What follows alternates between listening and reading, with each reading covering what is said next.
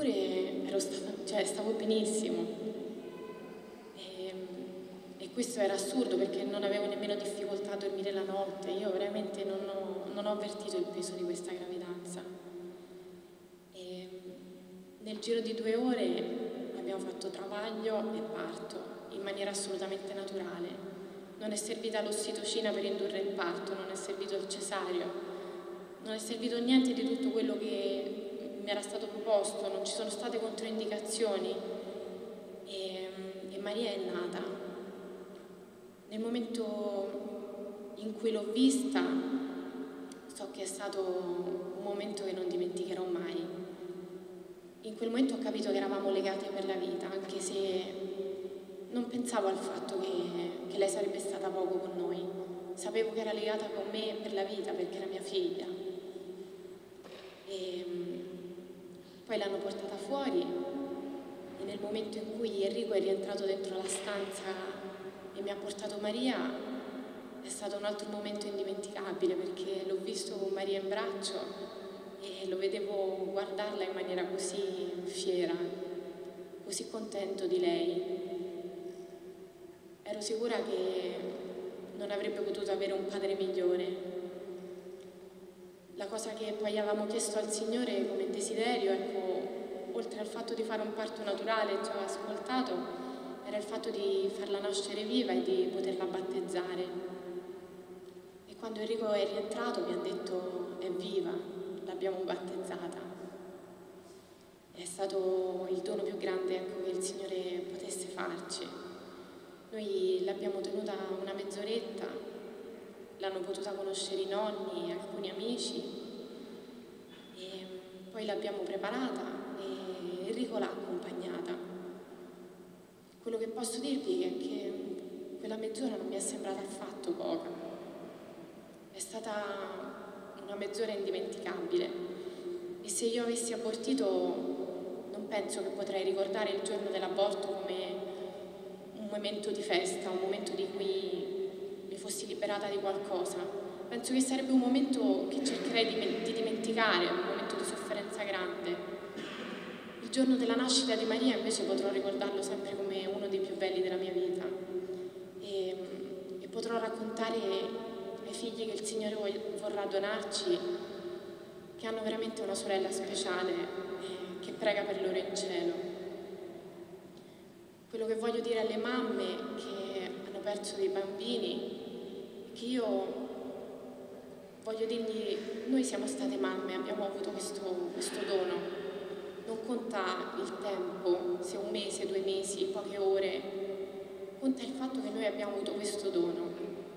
E, e non è una cosa che si può dimenticare.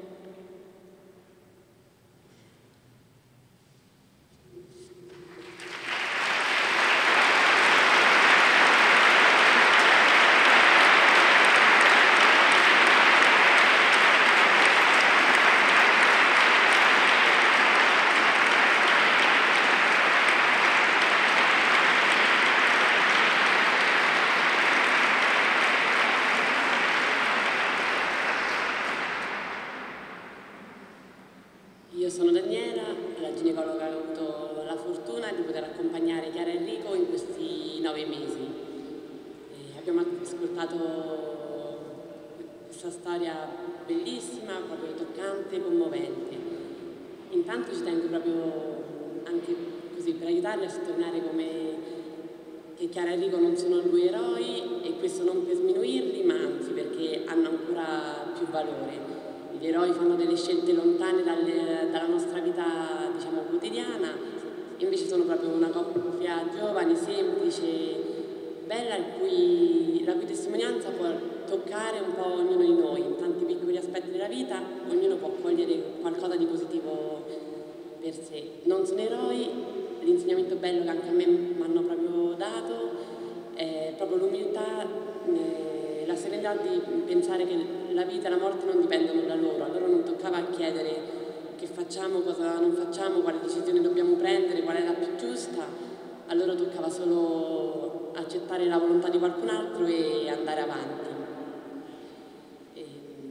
e rispetto a tante persone che mi hanno detto, quando ho raccontato questa storia, mm, mi hanno detto tanti dubbi, tante domande, è giusto, non è giusto, uno fa soffrire forse di più una bambina, forse di più una famiglia, tanti pensieri anche razionali e dico al di là di questi eh, nel conoscere Chiara Enrico e dico vale anche così per voi che siete qua, dico per me vale proprio più di tanti pensieri come guardare le loro facce, delle facce eh, serene, contente di aver voluto bene alla loro bimba e di voler bene alla loro figlia, che vale più di tanti ragionamenti. il volantino di questa sera eh, è bello il titolo Il dono della vita, mi piace la frase che c'è scritto proprio che il cristiano è chiamato a guardare la realtà, però da una prospettiva diversa, privilegiata. E in questa prospettiva io mi sento proprio anch'io mi sento di affermare proprio che la nascita di Maria è stata un dono e una buona novella, proprio una buona notizia per tante persone. In primo luogo metto proprio me, per me questa nascita è stata proprio un regalo grande. Mi piace il mio lavoro, faccio la ginecologa proprio con passione, in tanti momenti anche tante soddisfazioni, delle storie belle, in altri momenti più difficili. Eh, ho fatto, avevo fatto poco prima di conoscere una situazione anche lunga in un consultorio e tante erano le ragazze che venivano proprio a chiedere nei primi tre mesi di gravidanza di interromperla perché, per problemi familiari, perché non c'era un papà, perché tante situazioni un po' eh, terribili. E tante signore vedevo anche tornare dopo aver fatto o le prime ecografie o l'amniocentesi col desiderio di interrompere la gravidanza proprio in seguito alla diagnosi di anomalie, di malformazioni fetali. Per me eh, era sempre, un, sempre, una grande sofferenza trovarmi di fronte a delle storie così, eh, tante volte eh, tornavo a casa proprio agitata, eh, tante volte non ci ho dormito la notte proprio a pensare cosa, cosa, devo dire, come posso aiutare, come posso aiutare una, una mamma a guardare la realtà da un altro punto di vista. E tante volte eh, mi sono sentita proprio impotente, magari anche incapace nel vedere eh, tante signore che comunque magari andavano da altre parti per prendere un'altra decisione. Poco prima proprio di conoscere Chiara Enrico, un'altra mamma aveva scoperto di una malformazione cerebrale grave della sua bambina, aveva deciso alla fine di andare in un altro ospedale per, eh, così, per abortire. Per me era stato proprio difficile accettare così una scelta del genere e in alcuni momenti eh, tanta fatica, difficoltà e a volte mi sono accorta che anche a me iniziava a venire come la tentazione e il dubbio di dire forse anche nel caso di quest'altra mamma, una straniera arrivata da poco, senza lavoro, col ragazzo in carcere, così, con una malformazione gravissima e dico chi lo sa, ha scelto lei e, e a volte la tentazione proprio di dire forse la vita ha valori diversi in base alle capacità che uno ha il trovarmi di fronte a Chiara ed Enrico, subito con la loro voglia di andare avanti, di portare avanti questa scelta, per me è stato proprio un grande regalo, un grande dono, proprio un segno di, di luce, di speranza, a dire allora se anche voi credete questa, nel valore della vita che vale a prescindere dalle funzioni, dalle capacità che uno ha, anch'io non mi sento una, una matta, una isolata e sono contenta di crederci a maggior ragione, a maggior ragione così con voi un, eh, un, dono, una buona notizia, la nascita di Maria è stata anche per tutte le persone dell'ospedale Alfred Bene Fratelli dove poi hanno fatto le visite, dove, dove Chiara ha partorito. E già quando venivano a fare i controlli, io lo dicevo sempre alle infermiere, alle ostetriche, al personale che c'era, a dispetto un po' della privacy, dicevo di, di questa eh, diagnosi di questa bambina, questa, l'anencefalia lo dicevo proprio perché mi pareva una notizia